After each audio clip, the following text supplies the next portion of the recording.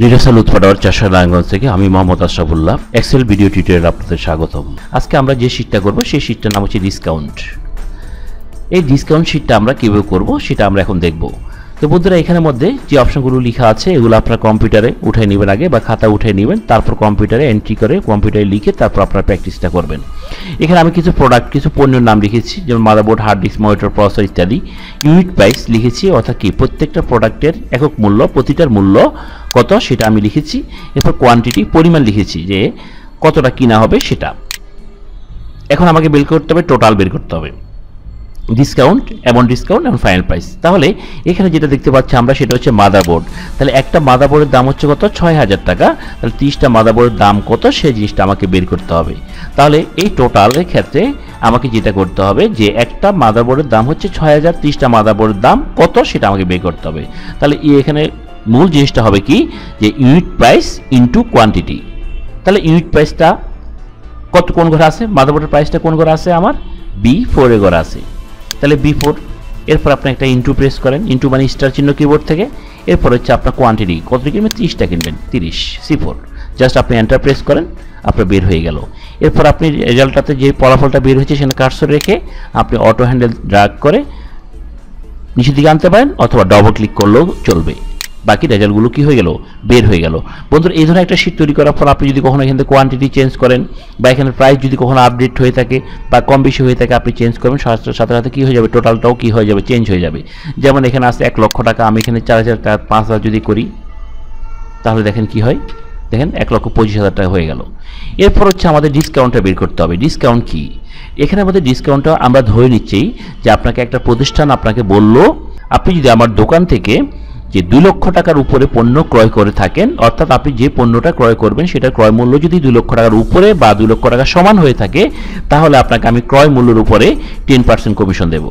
এবং যদি আপনার ক্রয় মূল্য দুই লক্ষ না হয়ে যদি এক লক্ষ টাকার উপরে, অর্থাৎ দুই লক্ষ টাকার নিচেও হয়ে থাকে, তবু আপনাকে আমি কমিশন দেব এবং সেটা হবে ফাইভ পার্সেন্ট।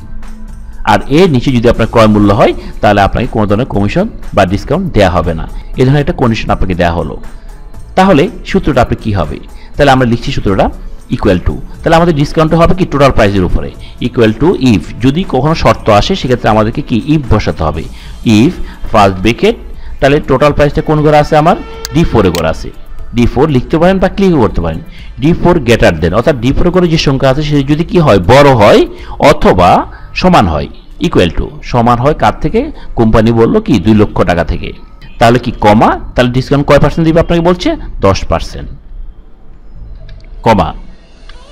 এখন কথা হচ্ছে, আপনার দু লক্ষ টাকা আপনার ক্রয় মূল্য হলো না, তাহলে কি সে আপনাকে আরেকটা কন্ডিশন দিয়েছে? দু লক্ষ টাকা যদি না হয়, যদি এক লক্ষ টাকা হয়, তাহলে আপনাকে সে ফাইভ পার্সেন্ট দিবে। তাহলে আপনাকে সূত্রটা আবার লিখতে হবে ইফ ফার্স্ট ব্রেকেট কোথায়? টোটাল প্রাইসটা D four D four greater than কত?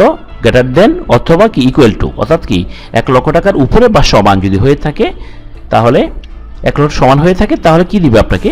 কমা ফাইভ পার্সেন্ট আপনাকে কি দিবে? কমিশন দিবে। এরপর কমা। এখন যদি আপনার ক্রয় মূল্য যদি এক লক্ষ না হয়ে থাকে, তাহলে আপনি কোনো কমিশন পাবেন না। অর্থাৎ কি কমিশনের গড়ে বা ডিসকাউন্টের গড়ে কি হবে? জিরো থাকবে।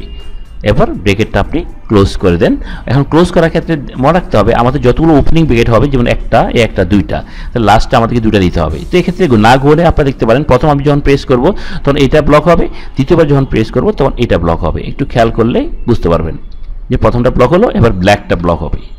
দেন এন্টার প্রেস করেন। ফাইভ পার্সেন্ট এবার আমি ফাইভ পার্সেন্ট উপর কার্সর রেখে জাস্ট এই অটো হ্যান্ডের উপর ডবল ক্লিক করি। বাকিটা বের হয়ে গেল। এখন কথা হচ্ছে, আমার ডিসকাউন্ট বের হয়ে গেল যে আমি কত, যেমন এখানে এক লক্ষ আশি হাজার, এই জন্য ফাইভ পার্সেন্ট এক লাখ পঁচিশ হাজার, অর্থাৎ দু লক্ষ টাকার নিচে, এই জন্য ফাইভ পার্সেন্ট এটা তিন লক্ষ টাকা, অর্থাৎ দু লক্ষ টাকার উপরে বা সমান তাই দু লক্ষ টাকার উপরে, এই জন্য টেন পার্সেন্ট তিন লক্ষ টাকার উপরে এক লক্ষ পঁচিশ হাজার ফাইভ পার্সেন্ট এরপর হচ্ছে আশি হাজার। অর্থাৎ কি, এক লক্ষ টাকা না বা তার উপরে না, এই জন্য সে কোনো কমিশন পায় নাই, অর্থাৎ কি, তার ডিসকাউন্ট বা কমিশনের ঘরে কি জিরো পার্সেন্ট এবার আমাকে বের করতে হবে কি amount of discount amount of discount আমি কীভাবে বের করব? আপনার টোটাল প্রাইজের উপর আপনাদের যে ফাইভ পার্সেন্ট আপনাকে ডিসকাউন্ট দিবে।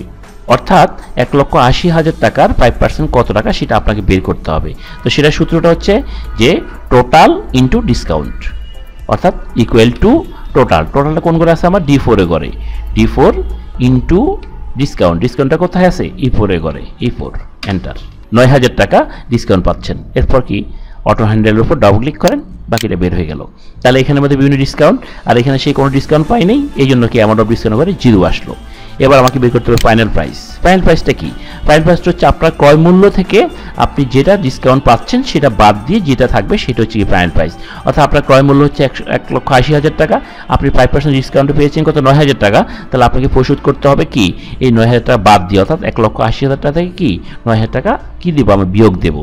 তাহলে কি? Equal to total price total প্রাইসটা কোন ঘরে আছে আবার? ডি ফোরে করে যেমন ডি ফোর মাইনাস এবার ডিসকাউন্টটা কোন ঘরে আছে? এফ ফোরে ঘরে। জাস্ট এন্টার প্রেস করেন।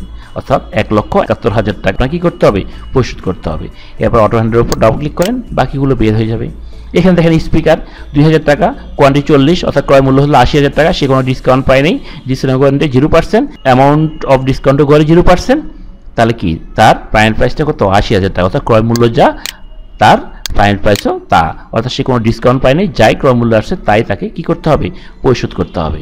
তা আশা করি বন্ধুরা বুঝতে পেরেছেন। এভাবে আপনারা যে কোনো একটা ডিসকাউন্ট একটা ফর্মেট আপনারা তৈরি করে আপনারা প্র্যাকটিস করবেন এবং এই ধরনের শিট দিয়ে ড্যামো দিয়ে, এটা জাস্ট ড্যামো শিট এই ড্যামো শিট দিয়ে আপনারা আপনাদের চিন্তা ধারণা দিয়ে কি অনেক ধরনের শিট আপনারা কি করতে পারবেন? নিজেরা তৈরি করতে পারবেন।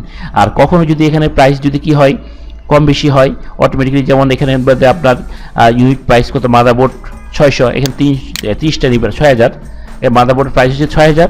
এখানে সে তিরিশটা, না সাপোজ এখানে সে দশটা নেবে। দশটা নেওয়ার পর আপনি কী করেন? এন্টার দেন। দেখেন অটোমেটিকলি কি? তার ষাট হাজার টাকা ক্রয় মূল্য হয়ে গেল, সে কোনো ডিসকাউন্ট পাচ্ছে না। ডিসকাউন্ট পায়, ঘরে কি? অ্যামাউন্ট অফ ডিসকাউন্ট ঘরে কি? জিরো এবং তাকে পে করতে করতে ষাট হাজার। অর্থাৎ ক্রয় মূল্য যা ফাইন প্রাইসও তার জন্য কি? তা। আবার যদি এখানে যদি আপনার যদি কখনো যদি বেড়ে যায় সাপোজ এখানে মনে করেন সে নিবে আশিটা, তাহলে দেখেন এখানে সে আটচল্লিশ হাজার টাকা কী পাচ্ছে সে? টেন পার্সেন্টে আটচল্লিশ হাজার টাকা সে ডিসকাউন্ট পাচ্ছে, তাকে চার লক্ষ বত্রিশ হাজার টাকা পরিশোধ করতে হচ্ছে। তো বন্ধুরা, বুঝতে পেরেছেন? আশা করি। ধন্যবাদ সবাইকে।